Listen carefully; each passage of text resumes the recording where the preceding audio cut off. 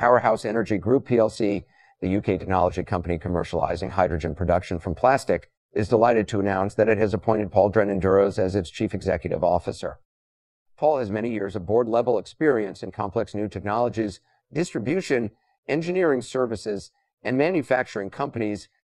Paul has led businesses on an international scale and has extensive experience in a range of sectors, including clean tech energy, oil and gas, waste to energy, process manufacturing, marine, and the auto industry.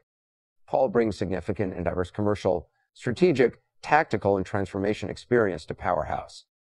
Paul will join Powerhouse on 14 February, having spent over three years as the investor appointed chief executive officer of Heliex Power Limited, a private equity backed clean tech energy business.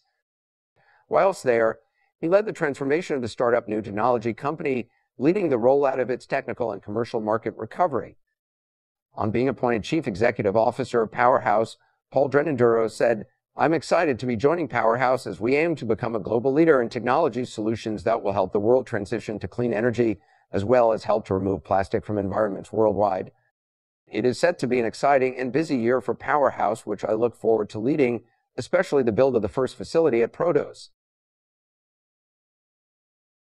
We look forward to seeing Paul's progress in the private investment community. It's clear the market has a warm welcome for him. We hope that there are potential synergies from his previous business opportunities and maybe a potential for using the, the set that harnesses saturated process steam and generates low-cost electricity that can be used on site or sold back to the grid as one of the innovations for the future in Powerhouse Energy's development. This is not an invitation to invest, and this presentation was not commissioned by either company. Please take professional advice before you invest.